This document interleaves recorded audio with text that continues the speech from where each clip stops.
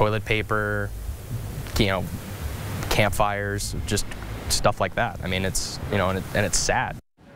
New and smaller homeless encampments are popping up all over Spokane and trash is being dumped illegally in the community.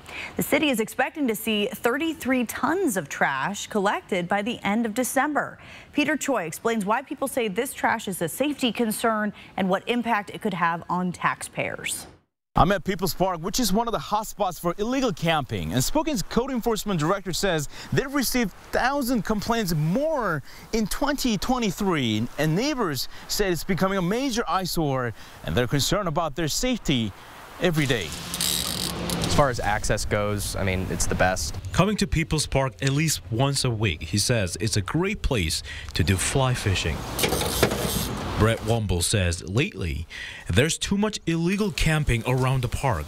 Uh, down Hangman Creek, I mean, there's camps down there all the time. I mean, it looks like there's new camps going down, going up down there all the time, every day. Womble says they're more than just eyesore. Debris, trash. I found needles in the river. That's a big. That's a big thing too. You know, I mean, we have a big community of fly fishers around here.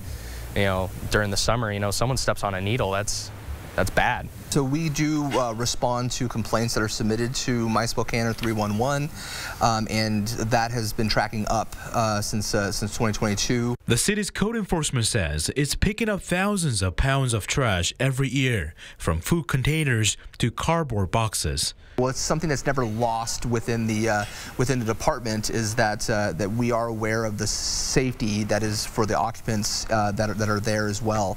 So uh, so our main intent is really just to try to minimize that. I asked him if the budget for the code enforcement department can change if demands keep rising. At this point, no. It's not something that uh, that in in my budget proposal that I'm asking any, any more funds, but that could always change based on the demand. This is a really special place and a great place and a pretty place, you know, and it's it's sad to see it get to that, you know. And spoke in Spokane, Peter Choi, 4 News Now.